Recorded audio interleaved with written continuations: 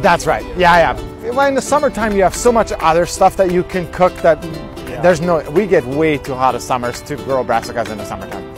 It's this. It doesn't seem to be worth it. Like our kale, our kale is getting wiped out this week. Some well, we're gonna start wiping out like two or three beds per week, and in four weeks' time, all the kale will be done because we're sales slow down, as you know, and it's just done. Just get rid of it, move something else. So, you know, we got our whatever it was, a couple hundred bucks per bed uh, out of it, move along, harvest this last piece, we'll harvest the whole thing, and then just rip out the stalks and plant something else like a couple days later. Yeah, pretty simple.